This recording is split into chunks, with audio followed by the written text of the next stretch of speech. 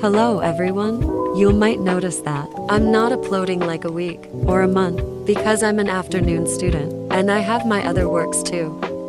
Okay, I'm gonna be for real. Well, some of you guys commenting, why is it always Casey? Why does Casey have to be the evil one? Well, first of all, it's my own oh dot dot I am the one who's making the character move or do, and the other saying, you know if Casey have many wishes, she can just wish have to have million wishes. If I do that, the plot I wrote will get ruined. I work hard and work smart to make videos, and y'all complaining about it. I lost my motivation because of you commenting to my videos. Like blah blah blah. I'm wide awake on night just to make videos for y'all. I slept 11:30 p.m.